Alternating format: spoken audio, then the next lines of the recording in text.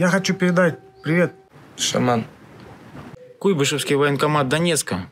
Передаю привет Министерству обороны. Здравствуй, Ара. Не знаю, живой ты или нет, но, как видишь, живой пока я. Своему командиру третьего батальона. Я жив. Позывной у него Киргиз. Он отправил меня на операцию, которую я знал, что я там просто погибну. И я хочу, чтобы он сам, если он такой хороший, умный, знает, пошел бы и сделал это сам, а не слал необученных пацанов тупо насмерть. Они нас послали, обещав одно. Произошло совсем другое. Вы нас отправили с одним билетом в одну сторону. Все, у нас больше никого не осталось. Только пленные. Ощутите себя в наших шкурах. Обманутых, преданных. Я чудом выжил. Э, живой стою, а вы не думайте ни о пацанах, ни о ком. Сидите в своих кабинетах. Я не знаю, я чудом просто спасся. Как видишь, у меня здесь пиздец.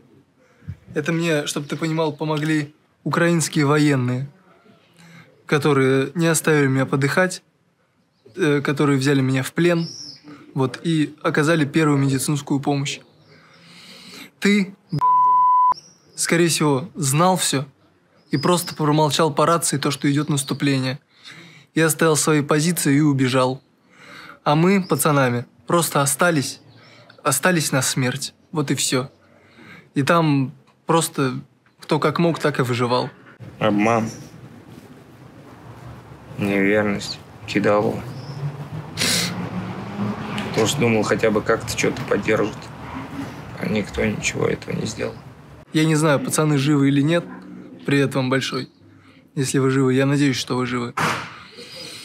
А ты, блядь, удачи тебе, гандон. Ни прикрытия, ничего нет, там никто нас не прикрывал, просто оставили вот в поле, грубо говоря, и все.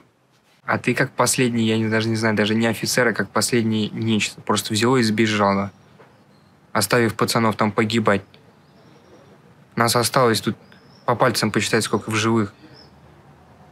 А ты просто взял и в самом начале сбежал просто. Ну, вы твари. Ну, Я вот себя дураком ощущаю, вот. Все. А почему?